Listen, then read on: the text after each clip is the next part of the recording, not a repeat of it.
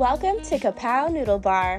What happens when three of South Florida's biggest players in the restaurant and nightlife industry come together? Magic, that's what. Kapow was born combining contemporary Southeastern Asian cuisine with a Florida vibe to elevate the dining and lounging experience. Vibe and imbibe. We were trying to find a void in the market, and uh, there was really Asian was missing. We saw what David Chang was doing with Momofuku and some of his his work up in New York and we felt that this area of Florida certainly was missing a really, really eclectic Asian fusion restaurant. So Kapow was born. So that right there is our spicy skirt steak gyoza taco, aji amarillo sauce, serrano peppers, and some pickled red onion. Definitely a crowd favorite. This right here is our pineapple brulee, a little bit of brulee sugar on top, some lavender and coconut flakes. My five-year-old son's favorite dessert dish, minus the sugar, of course. And these right here are angry shrimp dumplings. Make them in-house every morning. Spicy chili flakes there and uh, chili oil kind of makes that dish hit. And then right here we've got our tuna tartare crispy rice. Awesome little uh, fried rice blocks on the bottom bottom with our signature ahi tuna on top, fish eggs, little jalapeno, shareable too. And it goes back to I think that's what makes us unique.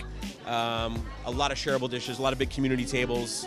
Um, it's about having a good good time, not being pretentious about it, and having fun. Now we're switching gears from Asian noodles to Cajun delights.